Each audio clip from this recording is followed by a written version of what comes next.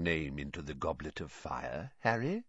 Dumbledore asked calmly. Protest! Harry, you put your name in the goblet of fire? No, sir.